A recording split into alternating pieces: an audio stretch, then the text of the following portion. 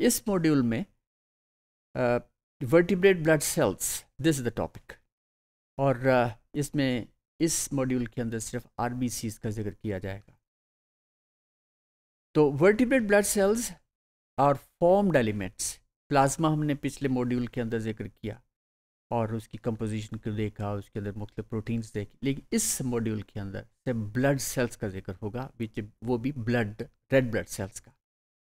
तो इस में फॉर्म्ड एलिमेंट्स जिन्हें हम कहते हैं ब्लड के अंदर तो दे आर रिथ्रोसाइट्स और रिथ्रोसाइट्स जो हैं they are also called this technical name for R B Cs that is red blood corpuscles then the leucocytes leucocytes they are white blood corpuscles or the cells, which are also called WBCs and then thrombocytes, which are said to be the platelets.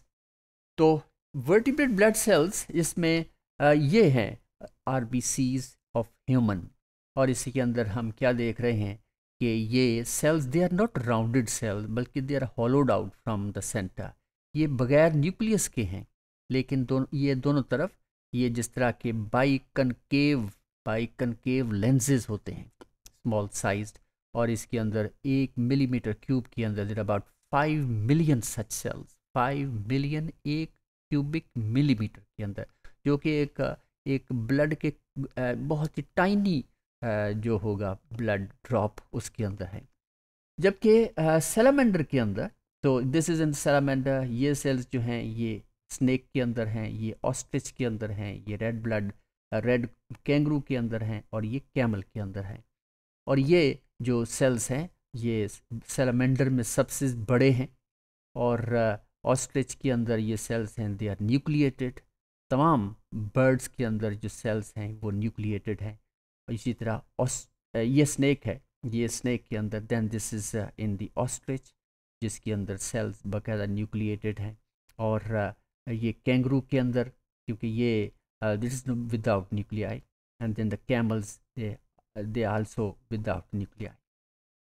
So erythrocytes or the RBCs, they vary that is dramatically in size, shape and number in different vertebrates जो हमने पिछली diagram में या photograph के अंदर देखा For example, the RBCs of most vertebrates are nucleated, but mammalian RBCs they are anucleate, enucleate, that's without nucleus. इसे A भी कहते हैं, E भी कहते हैं, enucleated.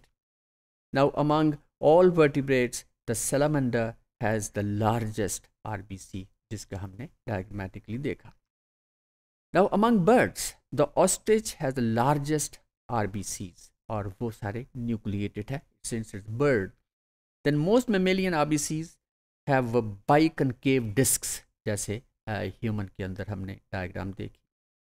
However the camel and the llama have elliptical R B Cs अगर हम comparison करें ह्यूमन और इन एनिमल्स का तो ह्यूमन में ये राउंडेड हैं. दे आर नॉट स्फिरिकल नहीं है they are rounded they plate like जो दोनों तरफ़ से फॉलो हुई हुई है। लेकिन ये ये दे आर मतलब इसके अंदर आर पार नहीं हम जा सकते। They are not a ring form बल्कि they are they are invaginated a little bit तो बाकी इलिप्टिकल सेल्स हैं, जो कि ओबलॉन्ग सेल्स हैं, जो कि कैमल के अंदर या आई लहमा के अंदर। ये भी एक एनिमल है इट्स मैमल विद जो रिजेंबल करता है with small camel now 95 percent of the mass of R B C is haemoglobin और हीमोग्लोबिन uh, के बारे में हम काफ़ी हद तक जानते भी हैं क्योंकि ये एक ऑक्सीजन कैरिंग प्रोटीन है। ये ऑक्सी हीमोग्लोबिन बहुत जल्द ऑक्सीजन को अपने साथ में ला लेता है और वो ऑक्सी हीमोग्लोबिन बन जाते हैं। इट ऑल डिपेंड्स कि कंसनट्रेशन ऑफ़ ऑक्सीजन यानी ज़्यादा कंसनट्रेशन होगी तो ज़्यादा हीमोग्लोबिन बनेगा। कम कंसनट्रेशन ऑक्सीजन की होगी तो ऑक्सी हीमोग्लोबिन कम बनेगा। तो the remaining five percent consist of enzymes then salts and other proteins यानी कि सेल के अंदर हीमोग्लोबिन तो the major function of haemoglobin obviously it is the transport of oxygen लेकिन कुछ थोड़ी सी अमाउंट जो है, वो कार्बन डाइऑक्साइड कार्बन डाइऑक्साइड भी ट्रांसपोर्ट होती है इस हीमोग्लोबिन से। तो haemoglobin also carries waste carbon dioxide in the form of carbamino haemoglobin तो तब इसको, क्योंकि जब ऑक्सीजन मिलती है तो we call it oxy haemoglobin जब कार्बन डाइऑक्साइड हीमोग्लोबिन के साथ मिलती है तो उसे फिर कार्बामिनो हीमोग्लोबिन कहते हैं। तो दिस इज़ ऑब्वियसली कि जब ये ब्लड सर्कुलेट करता है टिश्यूज़ के अंदर और ये कैपिलरीज में आता है तो वहाँ पे ये पिक करती है ये अगर लंग्स के अंदर है तो haemoglobin it will pick oxygen तो हीमोग्लोबिन बन जाता है। तो हीमोग्लोबिन इसलिए इसको ऑक्सीजन कैरिंग प्रोटीन कहते हैं। और टिश्यू लेवल पे जब कार्बन डाइऑक्साइड की प्रोडक्शन ज़्यादा हो रही है तो वहाँ भी हीमोग्लोबिन इसको पिक कर लेती है। तो तब हम इसको ये कार्बा अमीनो हीमोग्लोबिन कहते हैं। तो this is about this module